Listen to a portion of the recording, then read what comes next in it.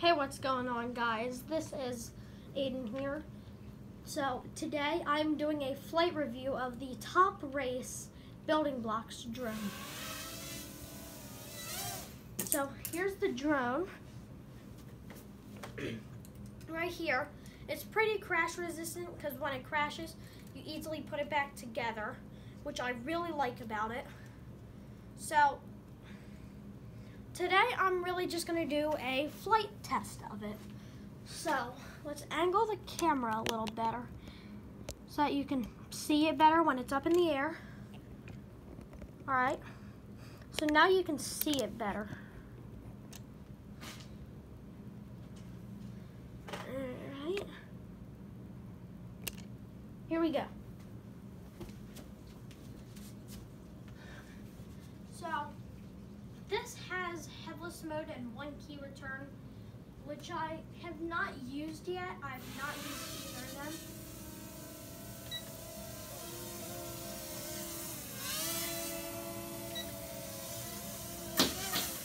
Okay, so it looks like the one key return isn't returning it at all. If you look at it, it's actually not working. It's flying away from it, not back. So the one key return did not work. Now headless mode means I can a normal drone, if you press forward, it will act it will go forward. And if you go forward facing this way, go forward. No matter what in headless mode, it will go away from the controller when I press forward. So I'm going to face it towards me. And it's in headless mode, so I'm pressing, oh. Okay, it's not in headless mode.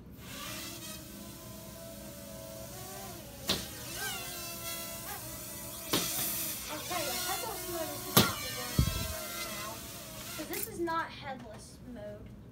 Whoa. Alright, so this is the one thing I do like about this drone, that it is pretty crash resistant. But the headless mode does not seem to be working. I will try this again. I was attempting it before and it was working fine.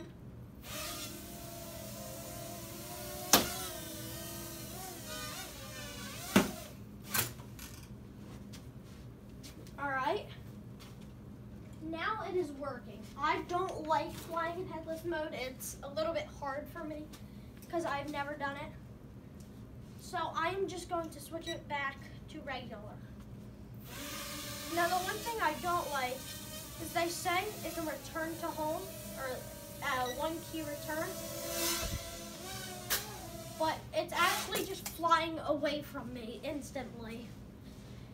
It's not doing anything but flying away from me, and this is super weird, and I don't know why this is happening.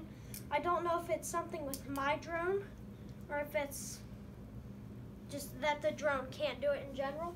So let's try flying it this way instead then.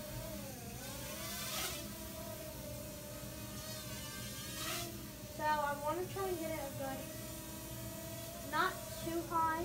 Now let's return it.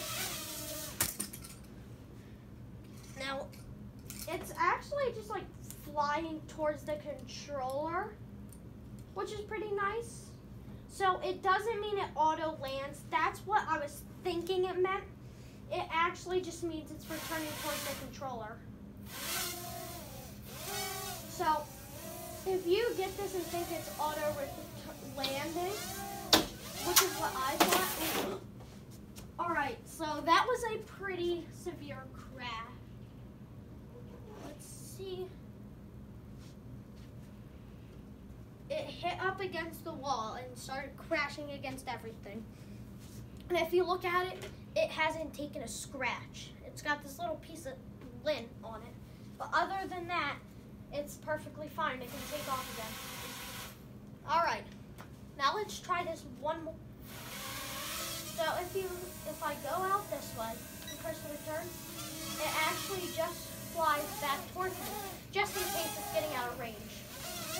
Now this really nice feature because I might start losing it. Whoa, whoa, whoa, whoa, whoa. Ooh. So that time it flew away from the controller, not towards it, meaning it doesn't seem like it's fully working, which is weird.